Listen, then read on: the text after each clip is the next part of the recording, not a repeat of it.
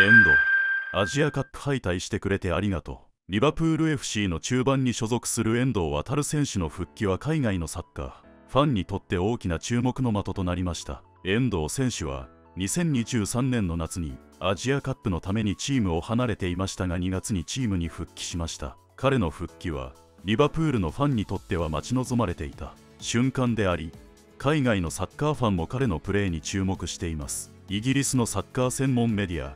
ガーディアンは遠藤選手の復帰はリバプールの中盤に新たなエネルギーをもたらすことでしょう。とコメントしています。また日本のスポーツメディアでは遠藤選手の復帰は彼のファンにとっては喜びの瞬間であり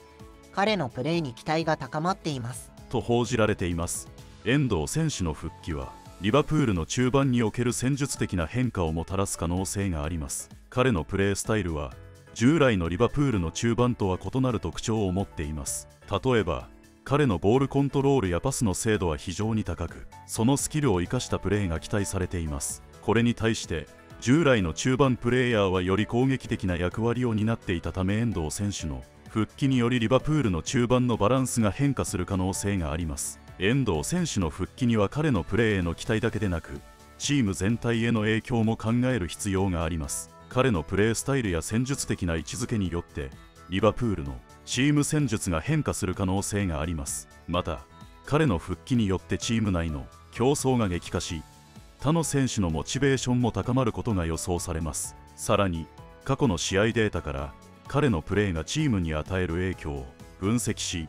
期待できる戦術的な変化を考察しました。魔法使いのようなプレースタイル。遠藤選手のプレーに対する注目は彼の卓越したテクニックと驚異的な戦術目によって引き起こされています。彼のボールコントロールやパスの精度は驚くべきものでありそのスキルを駆使したプレーが絶賛されています。イギリスのサッカー専門メディアガーディアンは遠藤選手はまるでサッカーの魔法使いだ。と大胆なコメントを残しています。遠藤選手のプレースタイルは他の選手とは一線を画しまるでサッカーの魔法使いのようです。彼のアジアカップでの圧倒的な活躍はまさに神業と言えるでしょう。彼の復帰はチームの戦術的なバランスを激しく揺るがす可能性があります。過去の試合データや彼のチームへの貢献度を分析することでチームにもたらす奇跡の影響を詳細に検証することができます。ファンの間では彼の復帰に対する熱狂的な期待が高まっています。現地ファンから遠藤選手がチームに凱旋することで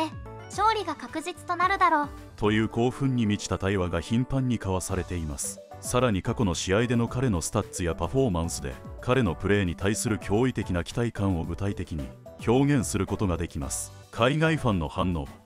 熱狂的な期待。海外のファンの声は遠藤選手の復帰に対する興奮と期待に満ちています彼らは遠藤選手のプレースタイルや過去の実績について熱心に分析し彼のリバプール復帰についての予想や期待を述べています。例えば現地のサッカーファンは遠藤選手の復帰はリバプールにとって大きな追加価値となるはずだ彼のプレースタイルはチームに新しいダイナミズムをもたらす。とコメントしています。またイタリアのサッカーファンは遠藤選手の技術と経験はチームにより多くのバリエーションとオプションを提供するでしょう。彼がチームに加わることでリバプールの攻撃力はさらに向上するはずだ。と述べています。これらのコメントは遠藤選手の復帰がリバプールのチームにどのような影響を与えるかを比較し具体的なプレーの例示を交えながら議論しています。さらに熱狂的なリバプールファンからは思わず笑ってしまうような絶賛コメントが集まっています。一気にご紹介します。彼とトレントがピッチ上で共演するとき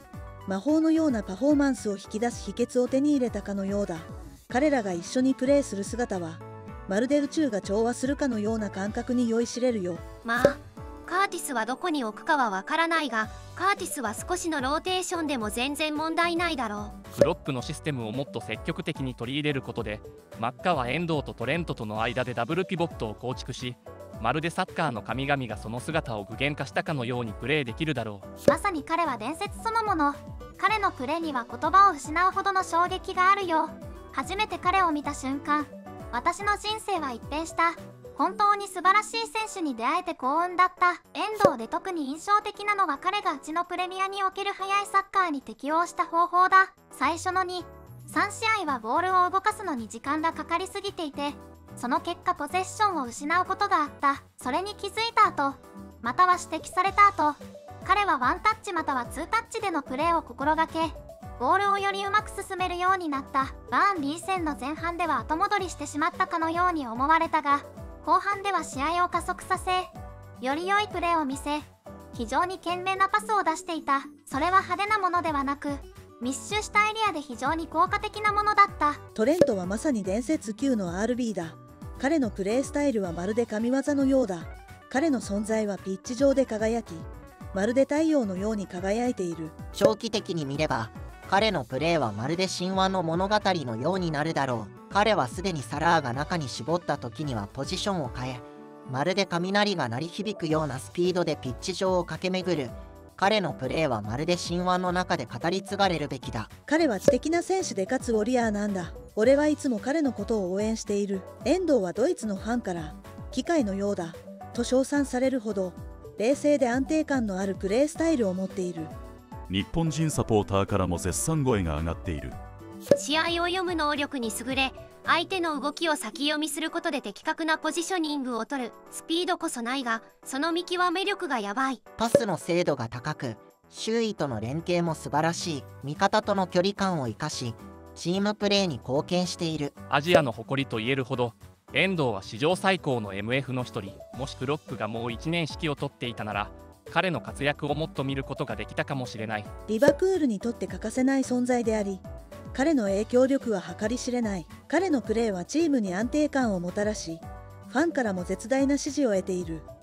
遠藤選手の凱旋期間チームの栄光を取り戻す市場の瞬間遠藤選手の復帰がチームにもたらすメリットは多岐にわたります。彼の経験豊富なプレースタイルはチームの若手選手にも大きな刺激を与え彼らの成長を促進します。また彼のリーダーシップや戦術的理解力はチーム全体の統率力を高め困難な試合での勝利に貢献するでしょう。遠藤選手の過去の試合でのパフォーマンスを見ると彼の得点数やアシスト数がチームの攻撃力を向上させてきたことが明らかです。彼のパス成功率やシュート精度も高くチームの攻撃の中心として大きな役割を果たしています。遠藤選手の復帰によりチームは攻撃的なバリエーションを増やすことができます。彼のプレースタイルは他の選手とは異なり新しい戦術オプションを提供します。例えば遠藤選手の存在によってチームはより効果的なボール支配を行うことができ相手チームに対してより多くの攻撃機会を生み出すことができます。サッカー評論家は遠藤選手の復帰はチームにとって大きなプラスだと思う彼のプレースタイルは攻撃的でありながらも守備にも貢献するその多彩さがチームのバランスを取るのに役立つ。と述べていますまたチームのコーチは遠藤選手の復帰はチームに新しいエネルギーをもたらすだろう彼のプレースタイルはチームの戦術に適しており彼の復帰を心待ちにしている。と語ります。これに対し選手は。遠藤選手は私たちの攻撃ラインに大きな刺激を与えてくれるはずだ彼の存在はチームのモチベーションを高めより競争力のあるチームを作るだろう。と返答します。遠藤選手の復帰がチームにもたらすメリットは過去の実績やチームの現在の状況を踏まえた詳細な分析や具体的なデータによって指示されています。遠藤航に求められること。遠藤はリバプールで与えられた役割の中でファビーニョの離脱に伴う穴を埋めることが求められていました。ファビーニョは昨シーズンパフォーマンスが低迷しあるイテハドへの移籍が決まりました。過去シーズンの公式戦において遠藤はファビーニョを上回る数字を示しています。90分あたりの平均タックル数2.22対2.19インターセプト1.50対1.25ボールダッシュ数6.8対5.9相手サードでのボールダッシュ率0.92対0.71そしてパス数64.4対60.3